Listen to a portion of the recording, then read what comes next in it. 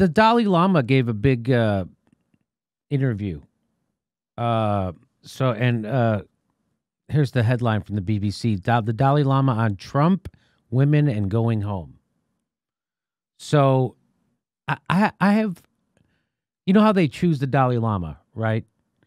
So the Dalai Lama is supposed to be a reincarnation of a soul that never dies. It's always right. I, I, And- I'm I'm not sure actually. so yeah, so so look up how they choose the Dalai Lama. So then the after the Dalai Lama dies, they go and they find an, the baby that's been re- reborn, and they take it, right?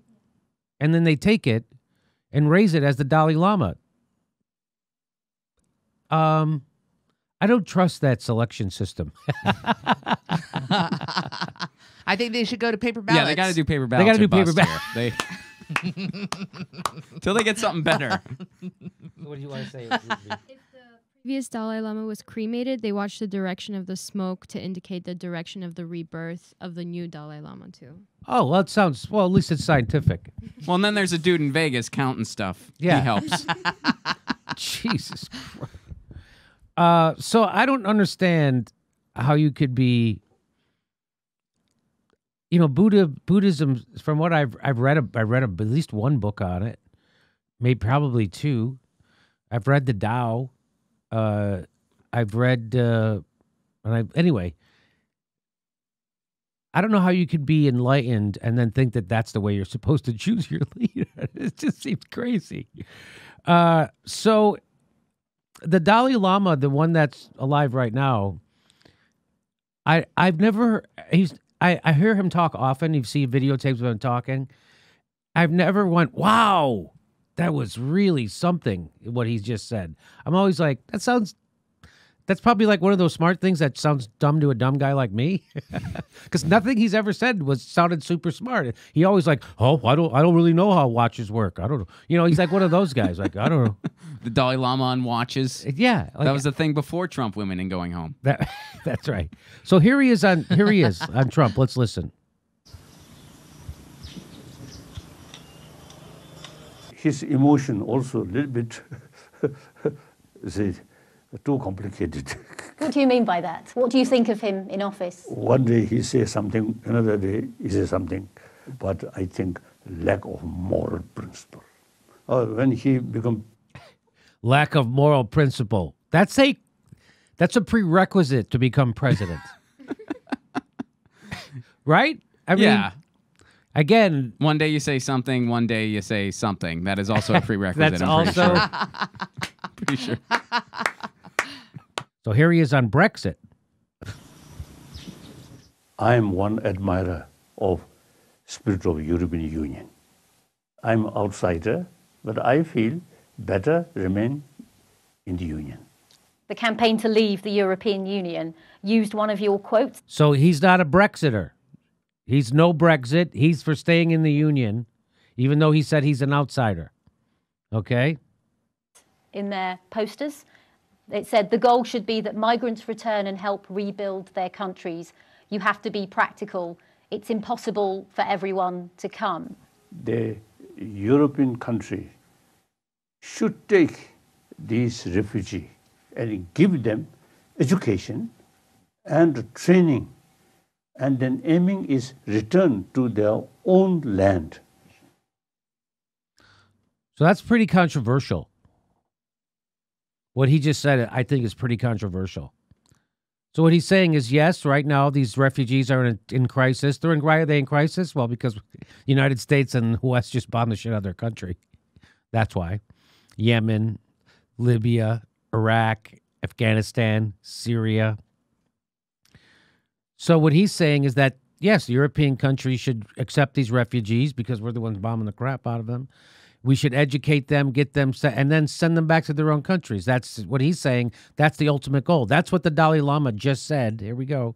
And if these people want to stay in Europe, shouldn't they be allowed to? Limited number, okay, but whole Europe eventually become Muslim country impossible, or African country also impossible. There's nothing wrong. I don't know why he's laughing like that. Uh, I could I could help him on his punchlines, but uh, but so what he so what he's saying sounds like stuff right wingers would say, right? That yeah, some of them can stay, but you can't have Europe turning into an African or a Muslim country.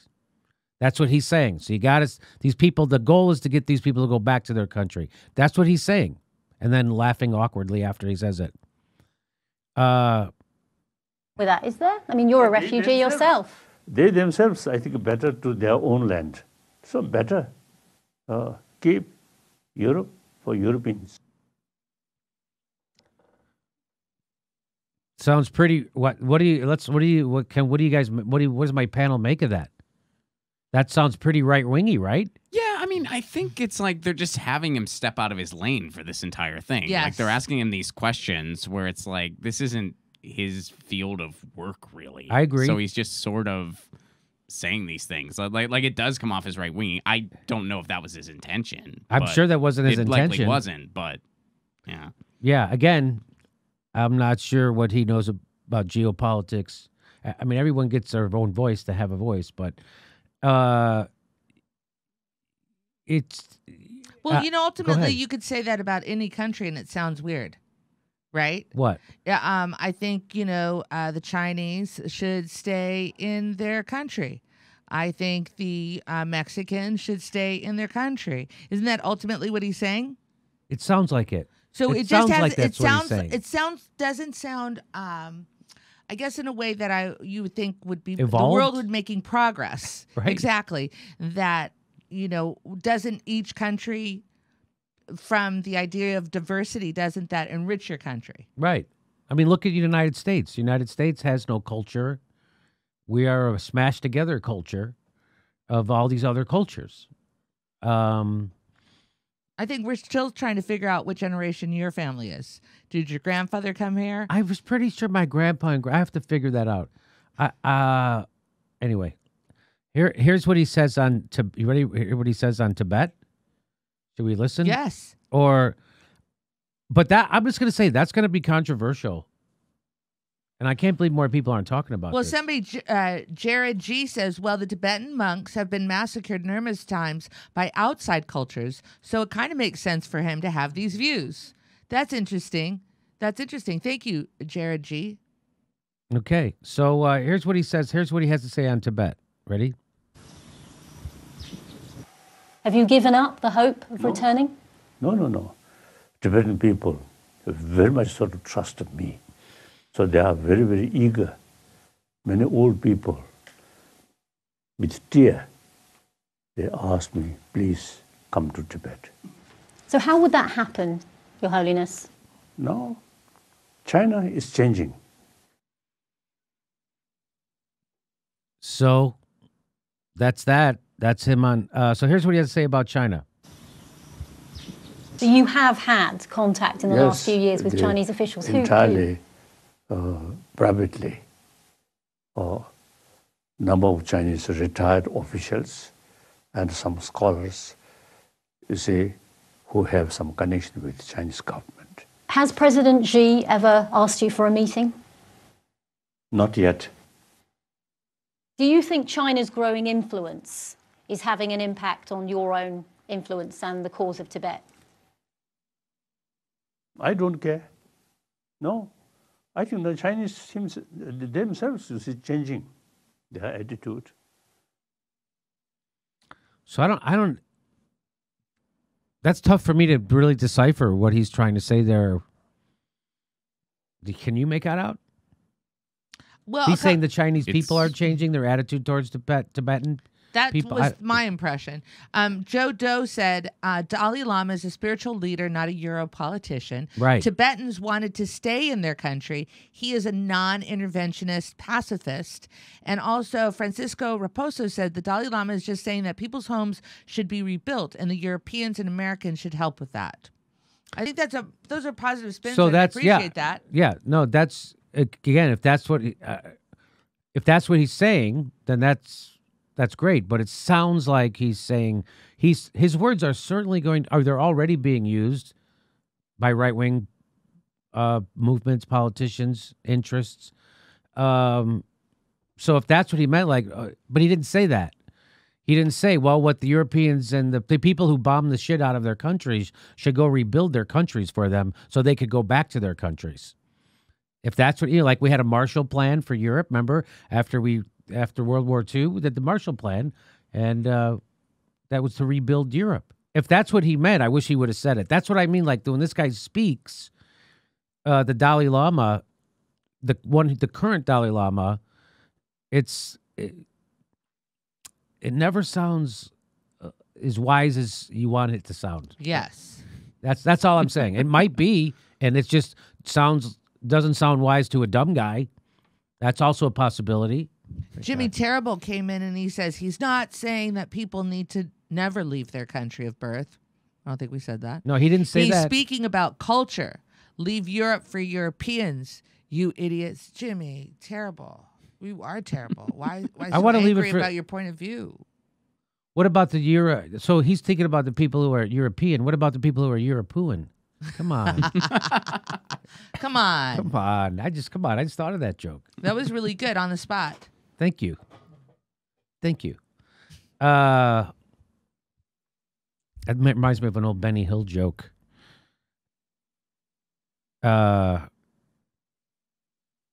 anyway, here's what he says about it's just a stupid joke. Uh, here's what he says about a female successor. Now, this is very controversial. Yeah, this is the thing that got him into a lot of trouble. Oh, so right? you heard about this? Yeah, I've heard about this, but but this is the only part I had heard about prior. All right, so that like, other stuff you whole thing. missed, right? Yeah, yeah, I hadn't Which heard I thought was was equally it. So so again, you what you have to remember is that the Dalai Lama himself doesn't con. Uh, again, I could be wrong about this, but my understanding is, and correct me if I am wrong, please, that um, there is no death, and so that he is just a constant cycle of rebirth, right? So that his soul is eternal, his physical being changes, but he remains the same. And so they're asking him, well, the next time he manifests himself, what should he look like? But that's not the question people hear. So here's here's what he says.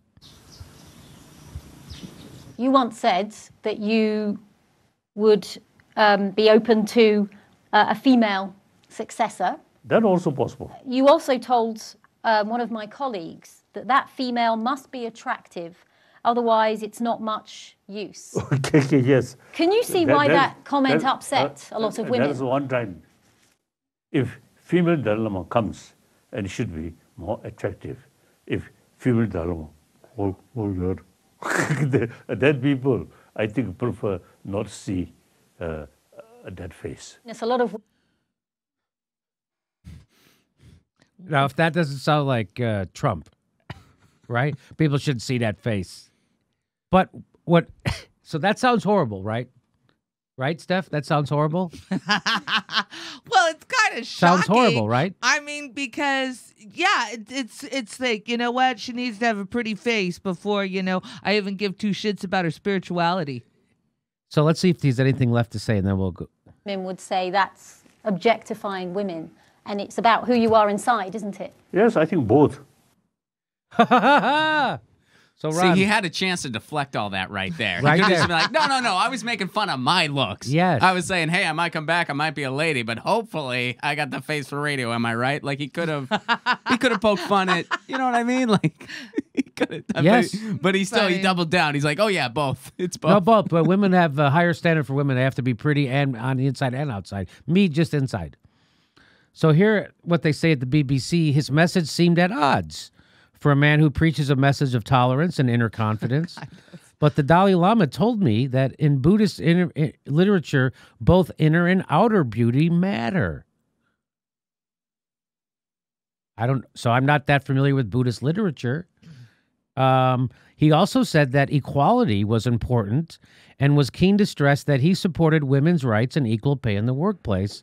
The Dalai Lama's Just message. as long as they're pretty. Just as long as they're good looking. right? Come on, you don't want. Who wants to fucking talk to I, that? you know, when I hand you my pay, when I hand you your paycheck, I want I want to see something nice here, ladies. Yeah, wait. Yes, is, is this what Senator Richard Martin says? You know, the problem is too many ladies just been frowning. hey, ladies, why don't you Uh, smile a little more? so uh, here's here, here's some headlines. Dalai Lama talks Trump says European migrants should return to their own land. So you see how this is immediately being.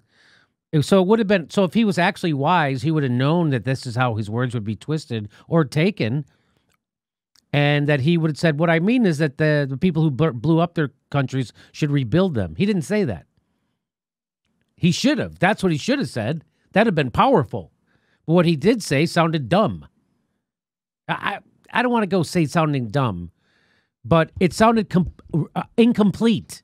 It, wasn't carefully selected. It was not a good answer. so that's what I mean. It's like so you're not even. So again, his whole thing is he's wise. So you're supposed to be even if you're supposed to be wise enough to know that your words are a going to be misconstrued, b you don't know enough to talk about it, and c you're not even going to say what you mean. Like if he means that we should again, I'll say it again, that the countries who bombed the shit out of these places should go rebuild them. He didn't say that. That would have been great had he said that. So, and by the way, if he's wise, he would know that that's how he's supposed to say it. So, I don't think that this selection process reveals itself in a wise leader. Like, I don't know how wise this Dalai Lama is. I don't know. He doesn't seem wise. Right? Now, um, what do you just like the Pope isn't necessarily wiser than anyone else because he was elected Pope? Uh, Well, and I think when it comes to religious leaders, I'm glad you brought up the Pope because it's one of those things where it's like, man, people line up to like pat them on the back when they say something nice. Yes. Meanwhile, it's like the Pope, especially, he has said some really nice things. yes, Actions, not not I haven't not seen enough. much. Especially when it comes to the church itself. I haven't seen anything really. well, he But he least, says least- nice things. well, at least he got rid of the patriarchy and the sexism, and women are. oh, he didn't do that. Completely icing women out of the decision process. He's a completely over mis- uh, misogynistic organization. Would you call the Catholic Church misogynistic? I would. Uh, yeah, I think Yes. fair. Well, we no, no, we don't hate women. We just don't want any of their opinions bothering us. You just can't be a leader. Yeah, you're inferior. Women are inferior. That's the whole message of the Catholic Church. Women are inferior. Yeah, man, I got 12 years in. I know. I know. I, got I got that shit drilled in. Uh, oh, somebody just mentioned in the chat. I'm sorry, I lost your name, but it said it sounded like the Dalai Lama was being a smartass, like with his answers. Yeah, well, that's really that's my role. That's not his role.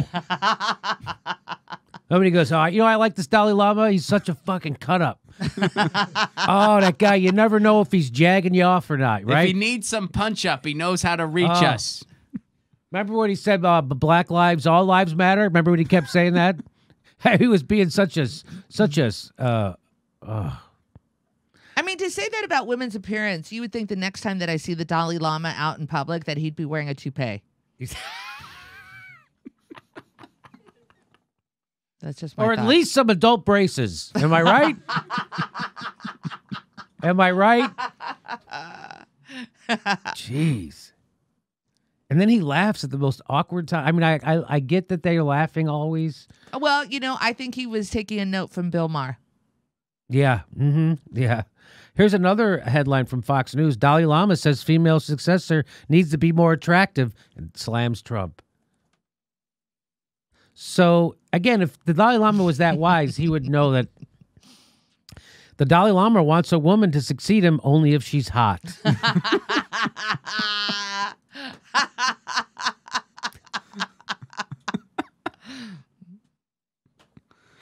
Here's another one. The Dalai Lama just said some more controversial things about women and migrants.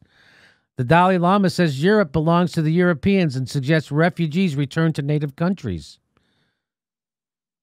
So, again, not he's not the wisest of Dalai Lamas. This is not a, one of the wiser ones. This is like the Jeb Bush of Dalai Lamas. And at the end, he asked everybody to clap, Please- actually, at the end of that clap. interview. Uh, Trad. So this is uh, somebody at uh, um, this is Nira El Shah says, uh, tragic that the Dalai Lama's love of boobs or whatever has cast a shadow over an otherwise brilliant system of government of picking a random baby and raising it to be a god king. that's a funny way to. That's what I've been saying. I don't know if that's the best system. You pick a child baby and raise it to be a god king. That's what they do. Uh, this person is a blue checker. Cotton candy, can daddy, Sloan. Wow, that's a lot of tough to decipher in that name. Uh, today, the Dalai effing Lama said the only way he'd want a woman successor is if she's objectively bangable. I don't want to hear. So I don't want to hear. Not all men ever.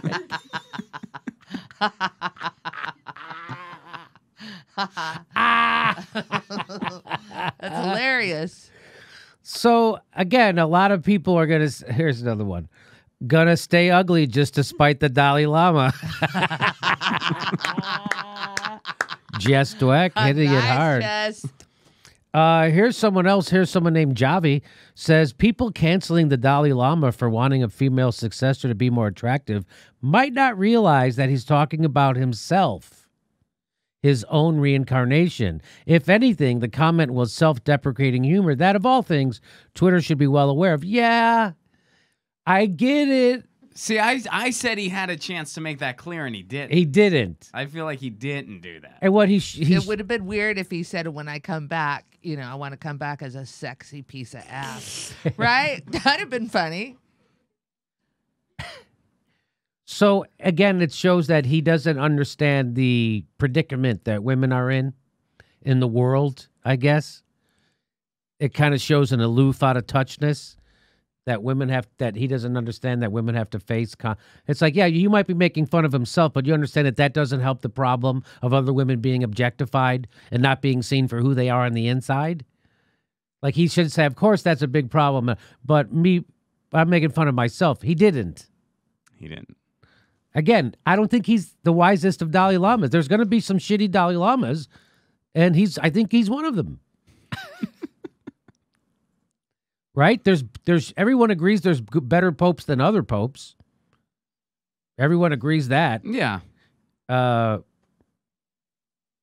Yeah, the one the one that executed all cats, that was a particular shitty one. yeah, that was that not one, a good that one. one was a pretty bad one. You know, gave everyone the plague. Uh, Kabir Singh says, "I am the most idolized and successful misogynist ever." Dalai Lama, hold my shawl, son. I, oh, if I knew who Kabir Singh was, that would make that joke funnier to me. Does anyone know who Kabir? No, no one knows, right?